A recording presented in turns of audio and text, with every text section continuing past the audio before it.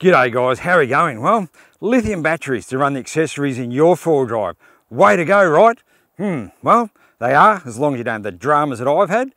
Let's go and have a chat about the nightmare that I've been through with my lithium battery setup.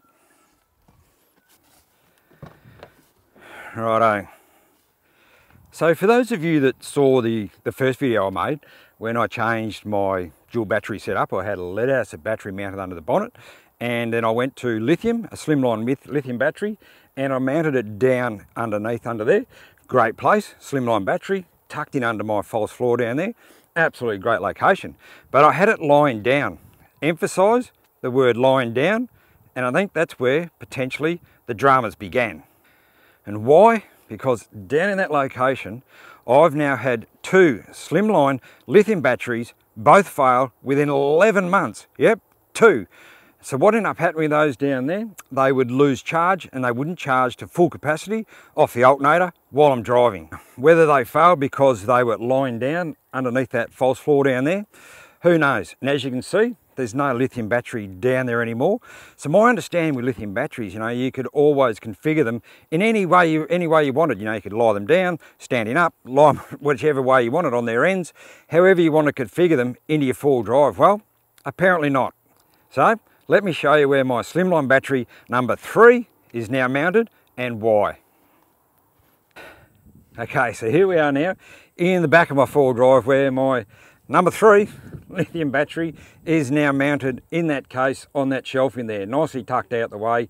Uh, great spot there for it. And uh, by the way, I've had all of these out of the, the batteries that have failed. They've all been replaced under warranty and with this one here, we did change brands, so hopefully that's not going to be an issue. And here it is here now mounted in an upright position as per manufacturer specifications. Hmm, manufacturer specifications. What does that mean? As I said before, most people think that you can mount a lithium battery in any configuration you want, lie them down, stand them on the ends, whatever. Well, apparently not. When I got home after having this battery, because this one was also mounted down under my false floor where the other two were, lying down on its side. It was only been down there for probably no more than a week before it got moved to here. When I got home, I thought I'd go through a read through the manual, as you do. And, um, and here's a Q&A in the back here of the book, and it says, can I install my lithium battery on its side or on its end? Answer, no. I thought, far out. This is while it's still mounted down on its side down under there. So I've jumped on their website and I've sent them an email asking that very question, almost word for word for what I just read you out of the book, asking that. And this is the reply I got back from tech support. And said, hi Tim, correct. They must not be installed lying on their side. They must be installed in an upright orientation. So then I've had to take it back. Then we've had to move it from down there and it's now mounted here because I was also running out of locations. These are a big battery.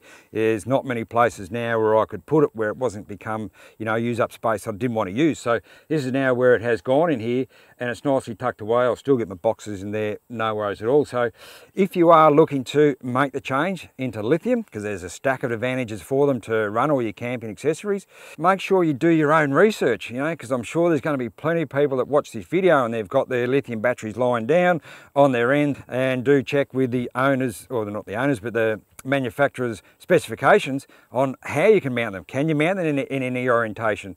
Um, you know, can you mount them on the side, on the ends, whatever? Because this one clearly says you can't. Um, you know, they're a big investment for one of these batteries and you know, they'll go a long time if you look after them properly. So that one there is now mounted there because, you know, the last thing you want is have it mounted in an orientation it's not meant to be in, you know, and it has a fail a few years down the track, whatever and you want to go and make a warranty claim, well, if they can see, you know, manufacturer can see that it's been mounted in an orientation it's not meant to for outside manufacturer specifications, well, you might find your warranty might be, might as well be in the bin because it's probably not going to get you a claim at all. So do check, guys, because they're a big investment, as I said, but they're a great thing for all your camping accessories. Well, there you go. Hope that's helped you out if you are looking to make the change into lithium do your own research, guys, and thanks very much for watching. Catch you later on. Uru.